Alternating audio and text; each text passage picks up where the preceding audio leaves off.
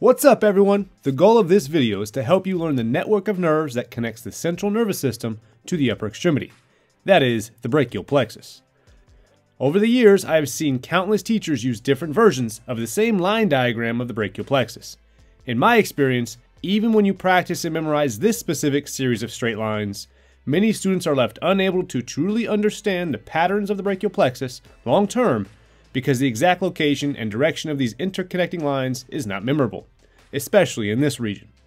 This region of the brachial plexus is also very important in helping us understand whether a nerve that branches from the plexus will have a posterior function or an anterior function. So today, I will present a different version of the brachial plexus. As with any of my nerve or vessel drawings, this brachial plexus will use a dashed line to represent a posterior component of the brachial plexus, making it a memorable part of the drawing. I will also draw nerves that branch in a smooth, curved fashion, something that is more characteristic of nerves when you locate them in the laboratory. Everyone describes the brachial plexus using the same series of named structures roots, trunks, divisions, cords, and branches. This shouldn't be too bad considering, like that of a tree, roots give rise to a trunk, and a trunk divides. Perhaps unlike a tree, the divisions that come from a trunk of the brachial plexus are determining whether a nerve will have a primary path and function that relates to the front or the back, the anterior or the posterior, of the shoulder, arm, forearm, and or hand. The roots of the brachial plexus are actually the anterior rami of the C5, C6, C7, C8, and T1 spinal nerves. Notice how we are using solid lines at this point.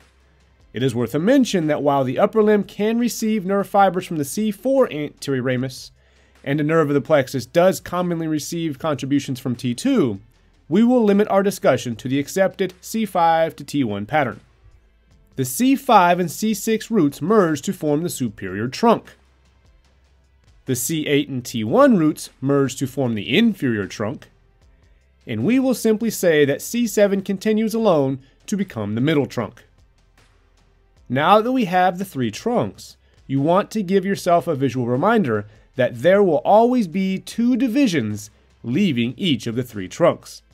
To be specific, each trunk divides into an anterior division and a posterior division. You would be correct in assuming there are six total structures that someone could point to and call a division. If I could recommend a specific order to draw and understand the divisions, I would start with all of the posterior divisions. This is because the posterior division of all three trunks merges with the others. When they do so, the new structure is appropriately called the posterior cord. Notice how we have already dealt with three of the six total divisions. Later, any branch that comes from the posterior cord will either travel posteriorly away from the posterior cord, or will have a primary path and function within the posterior arm or forearm. Next up, the anterior divisions of the superior and middle trunks merge, forming the lateral cord. And, finally, we will simply say the anterior division of the inferior trunk continues as the medial cord. Now take a step back and notice how we started with three trunks and now we have three cords. If you're studying the brachial plexus with the blood vessels of the upper extremity, the three cords are named posterior, lateral, and medial because of the relationship with the axillary artery of the armpit. We will finish this tutorial looking at the five most terminal branches of the brachial plexus. The axillary and radial nerves, as well as the musculocutaneous, median, and ulnar nerves. This is done to complete the overall scheme of the brachial plexus. If you're in a course in which you are studying the four additional branches that come off the brachial plexus before the divisions, and or the seven additional branches that emerge from the length of the cords, these will be covered in part 2 of this video along with their nerve roots. That being said, the pattern will remain true. The three that branch from the posterior cord, a dashed line, travel posteriorly to their destination. Nerves that branch from the lateral cord or medial cord, both using solid lines, travel anteriorly to their destination. Let's first complete the posterior cord. The axillary and radial nerves are what we can call terminal branches of the posterior cord because they are its last branches. Notice we have drawn the axillary nerve shorter than the radial nerve. The axillary nerve travels posterior to the surgical neck of the humerus to innervate deltoid, as well as teres minor on the way. The radial nerve travels posterior to the shaft of the humerus as it innervates the posterior arm muscles, the triceps brachii. The radial nerve, the much longer of the two terminal branches, continues distally to innervate the posterior forearm muscles. Now we complete the lateral and medial cords. First, we need to realize that parts, or roots, of each of the two cords connect to form the median nerve.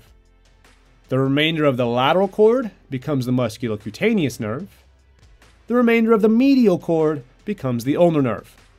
Notice that all of these are solid lines, so they will serve the anterior arm, forearm, or hand. Also notice that we have drawn the median and ulnar nerves about as long as the radial nerve because, like the radial nerve, they also travel all the way to the hand. The musculocutaneous nerve innervates the anterior arm muscles. It pierces the coracobrachialis muscle and travels deep to biceps brachii of the anterior arm compartment. The median and ulnar nerves share the task of innervating the anterior forearm muscles and the muscles of the hand. The median nerve can be said to innervate all but one and a half of the anterior forearm, but only five of 20 muscles of the hand. The ulnar nerve innervates the remaining one and a half muscles of the forearm and the 15 of 20 muscles of the hand. To get to the forearm, the median nerve travels through the cubital fossa anterior to the elbow, whereas the ulnar nerve travels behind the medial epicondyle.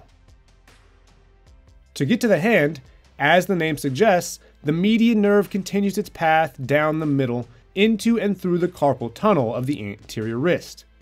The ulnar nerve travels into the anterior hand outside of the carpal tunnel, passing by the pisiform bone. I think that will do it for a solid foundation for your study of the brachial plexus. You can easily take this information and add to it as you build a more detailed understanding of the nerve's paths and functions. Maybe take a look at the second brachial plexus tutorial if your studies require.